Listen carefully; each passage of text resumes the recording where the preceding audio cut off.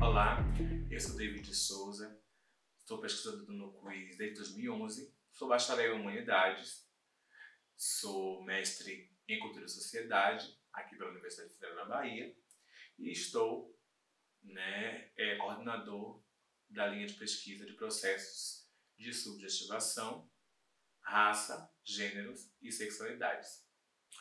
É, desenvolvo pesquisa na área de gênero, sexualidade e raça, né, e artes, né, é, desenvolvi uma pesquisa sobre a sobre como corpos negros têm feito, é, desenvolvido artes que falam sobre gênero e sexualidade no teatro aqui em Salvador no, durante, durante o mestrado. É, a, linha de, a linha de pesquisa de processos de subjetivação, raça, gênero e sexualidade, ela foi é, criada em 2018, né, quando o CUS é, ela, ele se transformou num núcleo, passando assim, assim a ser um núcleo de extensão e pesquisa. É, a linha ela foi idealizada por Matheus Santos e por Júlio Sanches, que eram os, os coordenadores anteriores da linha de pesquisa. Então essa linha, ela buscava, ela busca, ela, a intenção de, da criação da linha foi justamente se conectar com os estudos né, de racialidade e subjetividade e sexualidade, pensar como essas, como essas, é, essas discussões elas estão né, interligadas, elas estão conectadas. Então eles se juntaram e criaram, fizeram a primeira chamada né, dessa turma, dessa, dessa linha, que aí contou em torno de 20, 30 pessoas para fazerem parte dessa linha. A linha, é, ela busca desenvolver né, pesquisas é, que busquem adensar é, conhecimentos em torno né, de chaves de leituras como é, a necropolítica, genocídio da população negra e LGBT, políticas identitárias e políticas da diferença, além né, de pensar epistemologicamente sobre as teorias sobre anticolonialismo, sobre, sobre é, e pensar né, epistemologicamente sobre, é, sobre, e pensar sobre epistemologias antirracistas e anticoloniais. Né?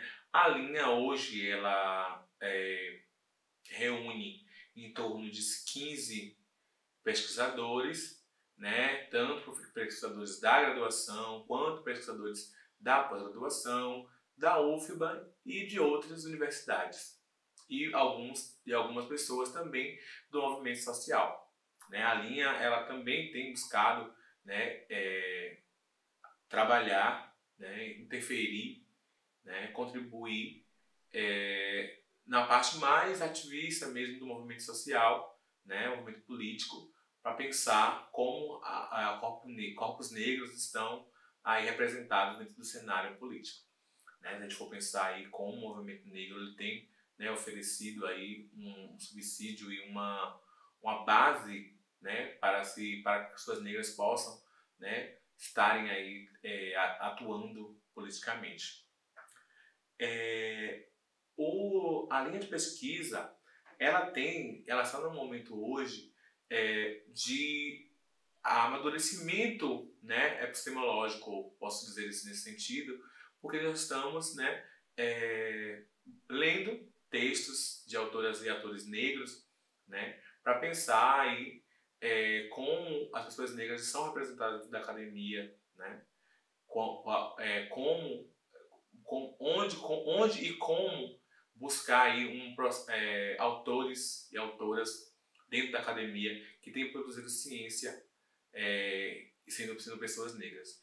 Porque a gente acredita, né, quando a gente começa a entrar na universidade, a gente entra na universidade, a gente percebe a quantidade de autores e autoras né, é, é, eurocêntricos brancos que estão né, pesquisando sobre questões de racialidade, porém não são pessoas negras. E hoje ah, percebemos, né, temos feito esse esforço de é, estar dentro da, da, universidade para é, pesquisar e criar né, ciência a partir das nossas vivências, o que é muito importante quando a gente vai pensar, quando a gente vai poder trabalhar com um olhar né, ligado às questões que realmente estão aí, é, que, é, com, as, com as questões que vão realmente é, interferir diretamente na vida de pessoas negras, né? Pessoas negras e LGBTs.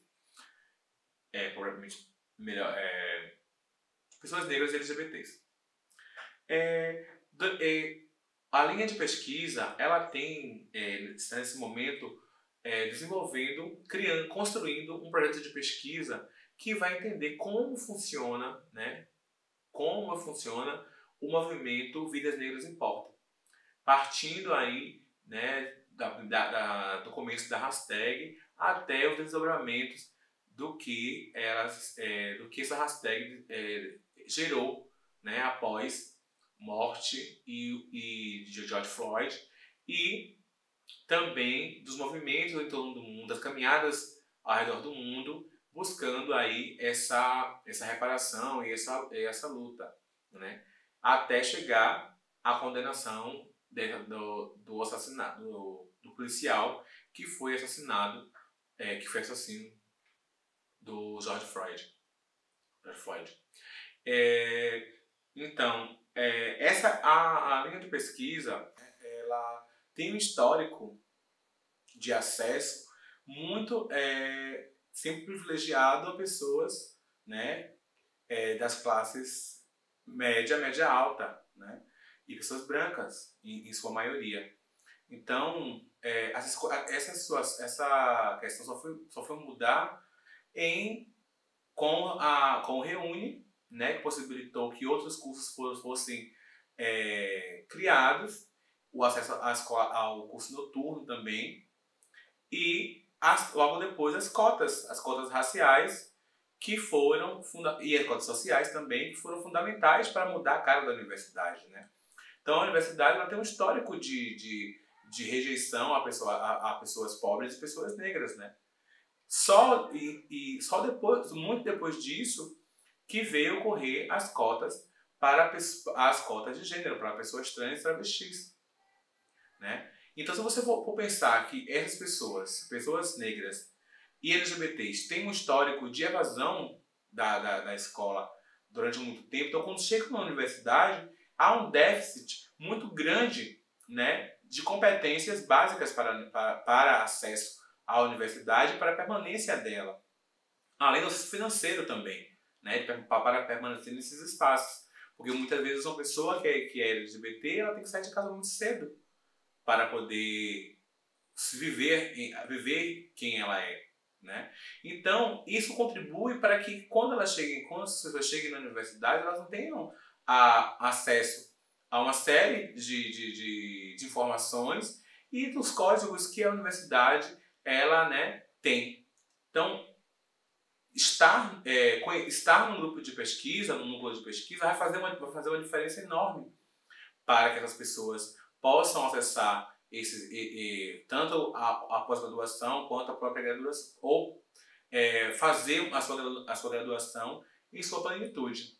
Então, ter um, uma linha de pesquisa como a nossa, as de é, subjetivos, processo de, subjetiva, de subjetivação, raça, gênero e sexualidade, vai criar estratégias, é, estratégias afetivas para, para que essas pessoas se sintam, se sintam é, inseridas dentro desse, desse espaço. Né? E aí a gente vai fazer, principalmente pelo fato que a própria Conceição Avaristo vai falar, né? ela vai dizer que, uma, que a história, que as histórias de pessoas negras, elas se repetem, porque há uma ideia de memória coletiva. Então, essas experiências, elas precisam né, estar bem embasadas teoricamente. E quando a gente entra na universidade, a gente não tem acesso a pesquisadores negros, a escritores negros que tenham né, uma, uma, uma, uma disseminação do conhecimento produzido por pessoas negras muito grande. Então, a ideia da, da, da, da, nossa linha de pesquisa é estar né, nesse processo de, é, de, de conectar, de nos reconectar e de nos conectar, de nos conectar com pesquisadores negros para, para compreender né, como a gente te, pode criar uma, uma política de situação né, de, de pensamentos negros, de pessoas negras e LGBTs. E aí, nesse, nesse processo, nós temos, né, na, na nossa linha de pesquisa, uh, um interesse muito grande de ler né, todas aí as pensadoras do feminismo negro, Lélia Gonzalez, é, Jamila Ribeiro, Carla Tirene, é, a Daiane Nayara, a própria Angela Davis, Lélia Gonzalez, é, entre outras pensadoras negras. A, a, e isso faz com que né, a gente consiga se ver dentro desse espaço. Né? E aí, isso vai, vai, vai, isso vai fazer com que a gente consiga se, se reconhecer nesse espaço. Quando a gente compreende que a gente, quando a gente consegue se ver, ver professores negros adentrando a universidade, né? Eu, por exemplo, tive apenas dois professores negros dentro durante o meu, curso de graduação. E isso faz a gente pensar se esse espaço é um espaço que, que as pessoas negras deveriam estar, né? Então, é, quando é, propomos fazer uma linha de pesquisa que vai abarcar, que vai, vai compreender como esses processos né, de negação da nossa existência, eles afetam profundamente a nossa, a nossa subjetividade, a gente vai produzir, é, a linha da busca produzir formas de enfrentamento a isso, de é, criar mecanismos de, de, de, saúde mental para pessoas negras e LGBTs dentro desse espaço acadêmico. Né? Então, é, a, a função primordial dessa linha, dessa linha de pesquisa é trazer né, um, um, referencial para, para pessoas que estão buscando né, pensar e criar e criar e, e, criar discussões e, e, e anexar os seus, os seus conhecimentos em torno das questões de racialidade, né? Como é que a gente, enquanto pessoas negras, não tem acesso a conhecer a produção de Fanon, por exemplo, ou a produção de Bembe, ou a produção do próprio Cabeleireiro Munanga, que é uma referência dos estudos culturais né, e, e, e negros. Né? E isso, juntar isso e, e a, a, a pensar as questões sobre diversidade sexual e de gênero, não é buscar uma, uma, uma identidade fixa, né? Não, não, é, não é pensar é, nesse, nesse movimento com um movimento em busca de identidades rígidas, né? ou de um, de um essencialismo identitário, mas sim é um, um retorno às raízes, é compreender como a ancestralidade ela vai fornecer é, um, vai fornecer a, um embasamento teórico para que a gente consiga compreender as dores né, é, de como a, sociedade ela tem oferecido poucas, é, poucas oportunidades para que pessoas negras elas tenham né, é, uma outra condição de vida mesmo. Né? Então eu acredito que estar no, que, que essa linha de pesquisa ela vai fornecer sim, ela fornece sim é, um espaço de encontro né? e de potencialidades de, de pesquisadores negros, negras né? e LGBTs. Praticamente todas as pessoas nessa linha são pessoas LGBTs. Né? O que não impede que outras pessoas que não sejam LGBT, LGBTs também façam parte da linha, né? mas que tenham um interesse aí né? de pensar as racialidades, fazer essa conexão, pensar, pensar né, interseccionalmente como a, a, como a sociedade ela tem né, é, tirado e, e, diminuído os acessos às pessoas, às pessoas, negras né, e LGBTs dentro do cenário político nacional e internacional. internacional. E gente vai, vai, vai construindo né, novas formas de pensar, novas formas de se olhar, de olhar para si e para o próximo, e para o, e para o outro.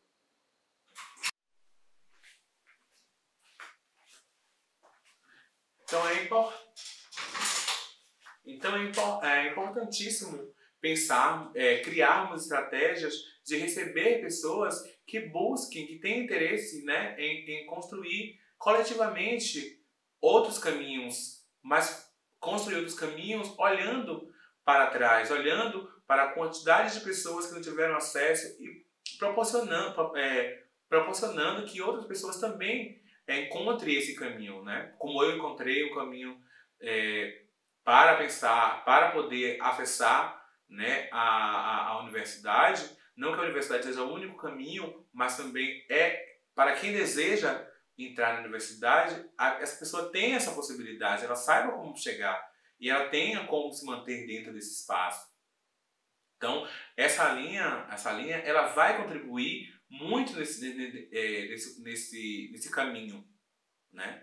É, e por esse motivo, eu estou aqui, né, na, na tentativa e de poder fazer esse convite para que outras pessoas que tenham interesse em, em pesquisar sobre questões de racialidade, subjetividade, sexualidade e gênero, que a nossa, nossa, a nossa linha de pesquisa está aí com as portas abertas, o núcleo de pesquisa também, o NUCUS é um espaço de afeto acima de tudo e de respeito às diversidades e de auxílio né, por compreender que corpos, que todos os corpos, né, sejam eles LGBTs e negros, são humanos, né?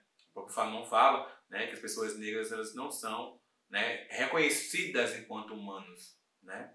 Não é reconhecida como civilização, né? Então, é, eu deixo aqui os, o, o muito obrigado e é, estendo o convite para que outras pessoas possam acessar esse espaço, podem entrar em contato conosco pelo, nosso, pelo, pelo, pelo canal do, do Nocus no Instagram ou aqui, pela, pela, aqui na, pelo YouTube. E acompanhe aí os outros episódios da, do Nocus Conecta. Até logo!